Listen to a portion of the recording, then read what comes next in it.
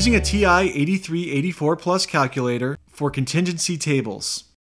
This video uses example 3 from section 11-3 titled, Does the choice of treatment affect success? First, press the second key, then the x to the negative 1 key to get to the matrix menu. Select Edit from the top menu, then select A and press Enter.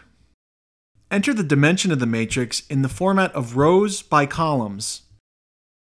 In this example, we have four rows and two columns of data, so press 4, Enter, 2, Enter to create a 4 by 2 matrix.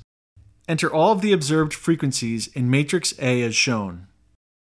In this example, we have entered the data from table 11-6 titled Study of Success with Different Treatments for Stress Fracture. The number of successes for each treatment is contained in the first column, and the number of failures for each treatment is contained in the second column. Once the data has been entered, press Stat, select Tests from the top menu, then select the menu item chi-square test and press Enter. For observed, enter the name of the matrix in which you entered the observed frequencies. In this example, we use the default of matrix A. To change the observed matrix, press second, then the x to the negative 1 key to get to the matrix menu, then use the arrow keys to highlight the desired matrix, and then press enter. Note there is no need to enter the expected frequencies in matrix B. The expected frequencies will be calculated and entered into matrix B automatically. Scroll down to calculate and press enter. The test statistic and p-value will be provided in the results as shown. In this example, the test statistic equals 58.393 rounded and the p-value equals 0.000 rounded.